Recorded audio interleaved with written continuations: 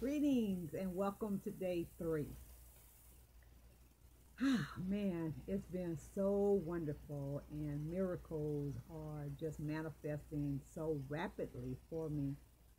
Uh, yesterday, at the end of day two, uh, I thought I was sleepy, and I laid down to uh, go to sleep kind of early because I had um, early appointment this morning and I napped for maybe 15, 20 minutes. Um, and then, oh my God, man, I, I just had all of these these incredible thoughts, like these um, the fill-ins for the gaps of some things that I was doing, and um, and and they were so right on point for me. So the mental clarity and the mental alertness is is already uh, evident for me from my experiences at the end of day two. Normally, I would uh, get to that point maybe like after day three, because normally the first three days uh, you, you kind of go through headaches and stuff like that um, because you're ridding all of these toxins and, and other things from out of your system. But thankfully, uh, mine has um, started right away. And I was so encouraged and so thankful for the uh, messages um, and intuition that I received last night. So, man, I was up till one, two, three o'clock in the morning just taking notes of everything that was being downloaded to me. So, I uh, wanted to, to make sure that I expressed that. And secondly, you know, if it wasn't for two incredible, crucial people in my life, I would not be on this journey. And so I want to give a shout out to Casey Weir, my beautiful niece in Las Vegas, and Anthony A.K. King, also in Las Vegas. That's my nephew. Uh, he's an incredible, incredible individual. He's a music producer. Uh, he got me in the studio. a couple of times and he he's just awesome. And so Casey explained the concept around urine therapy and again it's been so long ago that I don't even remember when it happened.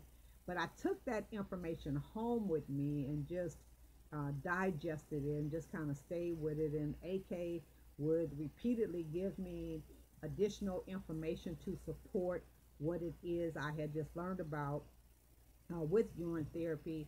And um, from there, I did my own research a little. I, I didn't do a lot, just a little.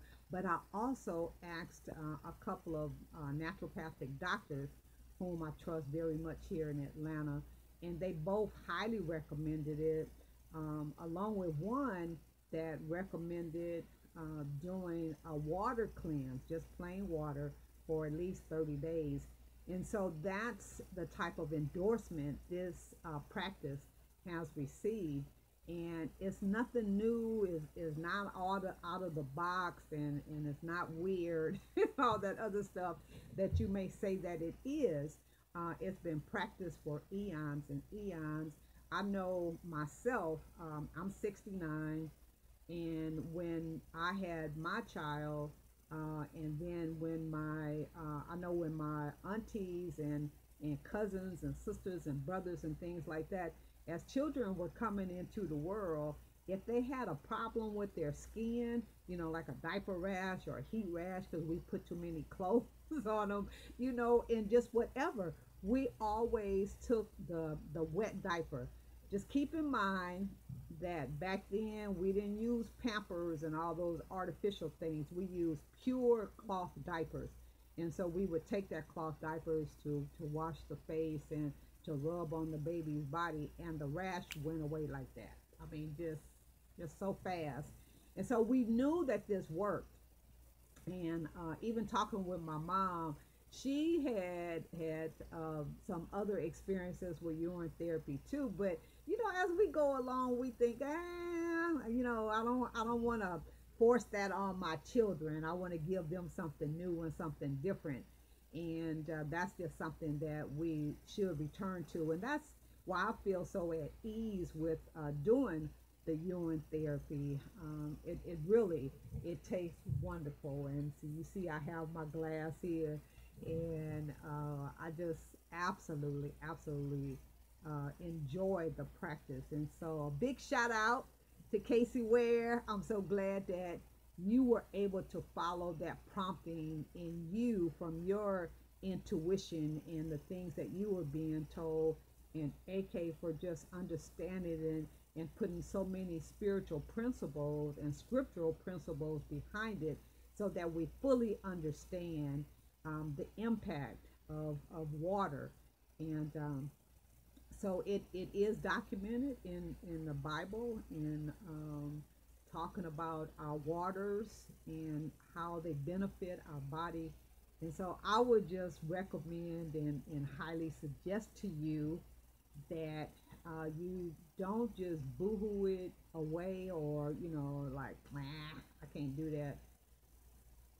We must think outside the box because the box that we're in is literally killing us right now with all the medications, all the diseases, the toxins and this and the toxins and that.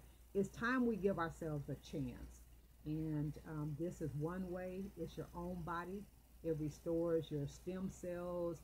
It resets your body.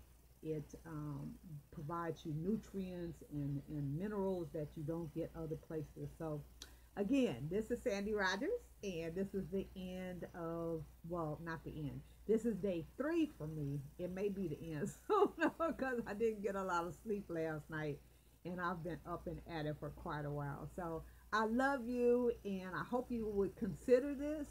And um, we'll do possibly a demonstration tomorrow. I'm not sure. I love you though. Have a good one.